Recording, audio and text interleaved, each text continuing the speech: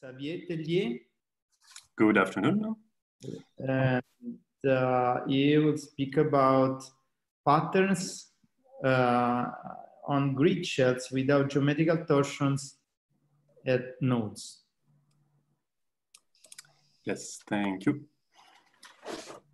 So this is a, a joint work with uh, Roman Boutillier and Cyril Douthe that I'm going to tell you about today.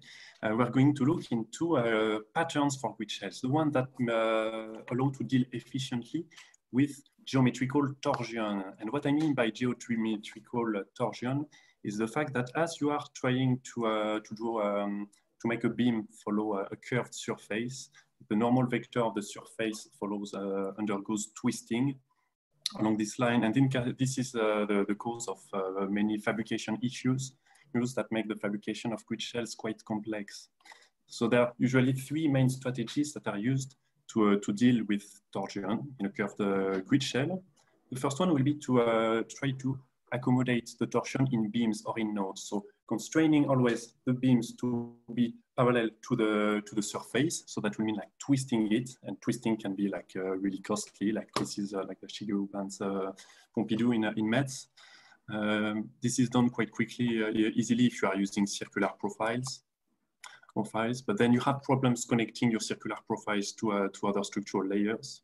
And the last solution is to concentrate the torsion in the nodes if you are using straight beams. But then you end up with this, this kind of very complex connection nodes with, uh, that are like time consuming and very costly. A second solution to deal with torsion is to set all beams in a vertical plane.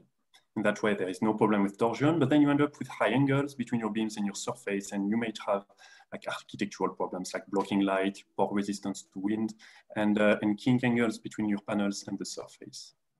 So third strategy is to try to get the, the, the, best out of the two first ones by using optimization. Optimization, they are optimizing the orientation of your axis to obtain torsion-free nodes while uh, aligning your beams with the surface normals. And this, you know that you can get it uh, to converge, converge quite well if you are using quadrangular meshes that are aligned with principal curvature directions or planar hexagonal, uh, hexagonal meshes. But what about other patterns? Well, that's the topic of uh, our work. The starting point is uh, differential geometry. Basically, we look uh, at what happens to the normal vector.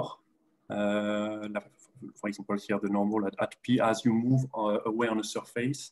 And basically, we look at, uh, we linearize the problem in the neighborhood of, of a point using the, the, the Gauss map, like a well-known tool for differential geometry. I won't go more into the details of this, I will just show you the results of this, uh, of using these methods. We came up with uh, three properties that are sufficient to guarantee that a pattern for a grid shell can have like no torsion and with a, and a very limited deviation of the, of the section with the, the surface normals.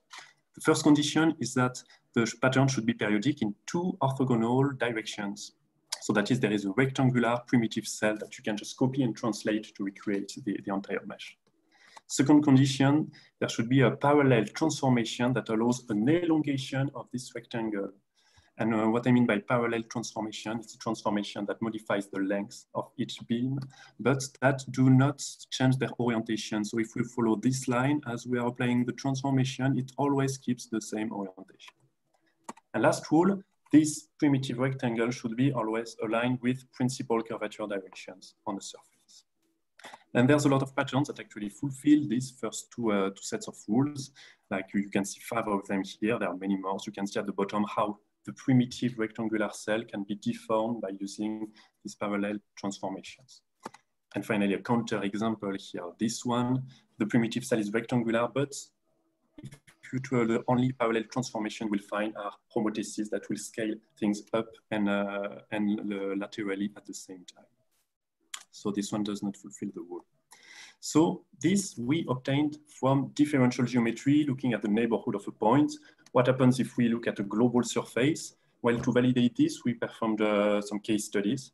So the first one is, uh, is this one. We are comparing two patterns. The, the top one fulfills the three sets of rules that we just defined before. And the one below does not. Uh, but it has the same average orientation of beams and the exact same combinatorics. And now what we do next is putting this pattern on, two reference surfaces, optimizing the orientation of the axis to, to, to make them torsion free and see how much this optimization make the beams deviate from the, the surface normal. And we can see that with the pattern fulfilling the rule, we have an average of five degrees of deviation with the pattern that fulfills the rules. And with the, the other one that is very similar, but that does not fulfill it uh, right, well, we have a deviation three times higher. And things are even uh, uh, more, um, there's an even more difference with these two patterns here. On the, on the top left, you can see uh, a pattern created from hexagons and, and triangles.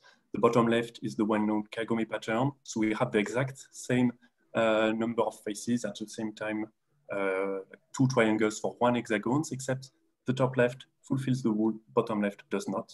And now if you look, if you, again, if we minimize the torsion on uh, those reference patterns, you can see that we have a deviation of the, the, the beams from the surface normals, like uh, eight times and 10 times higher with the Kagome pattern that does not fulfill the rule. Well, so uh, I will end on this uh, concluding uh, example. We, tried to, we, we created the geometry of the Gateshead Sage Music Center by Foster and Partners, and by putting on it this, um, this pattern composed of uh, hexagons, squares, and triangles that does fulfill the rule. And we managed to get this pattern with uh, that is torsion free here with just a 0.5 degree tolerance and where the beams always stay within two degrees of the, of the normals. So I thank you for your attention and I will be glad to take questions if there are any. I've not seen any popping up on my screen. Thank you, Xavier. Uh, if there are no questions, I just have a curiosity. So with respect to the, also Andrea. the... Uh, yeah. Uh, yes, go ahead first, then I will ask my... No, it's okay. So you can go uh, because we are a little bit short in time. So I prefer you made the question and. Uh, okay. So can you uh, tell uh, go into detail on slide six uh, or, slide, or even, mm, slide eight, uh, maybe slide five? Uh, yes, six. Six.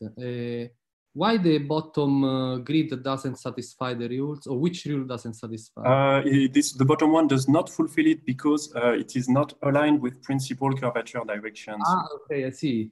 It's a it's uh, but um, you see it has the same average deviation from curvature, uh, principal curvature directions from the, the one above, but uh, here we voluntarily not uh, did not align it with. Uh, While the one on top, uh, you can align it with the print. The, the unit cell uh, can be aligned with the principal curve. Yeah, yes. In each case, like we aligned, uh, like uh, that's why I showed the, the, these little arrows in blues. they show how we are oriented, how this is mapped to the surface. Yes, I didn't see the, the cell. I, I thought you can make a similar cell in the bottom one, but okay. okay. Yeah, that was to compare apple to apple patterns with similar orientation, similar combinatorics. Thank you. That's another question from Francesco Tornabene. Yes. Uh, thank you very much for your nice presentation. I have a question about uh, the modeling uh, of the shells. So uh, you uh, homogenize uh, the structure, so you find an equivalent material or you study directly the system of beams? Oh, this is purely geometrical. There is no mechanical consideration in this study.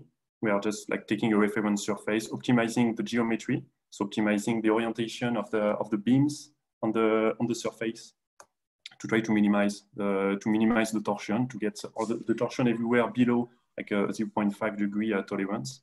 And then okay. we... and after you obtain this, minim this minimization in order to evaluate the stresses and other things, you have uh, a model to homogenize the structure or um, so I mean, not yet. Uh, I mean, this this is like the or, or, or we have to um, when you have find the optimal uh, distribution of the beam okay? But uh, um, uh, you you can study the structure as a system of beams or you can propose uh, an homogenization to consider the structure as a continuum shells.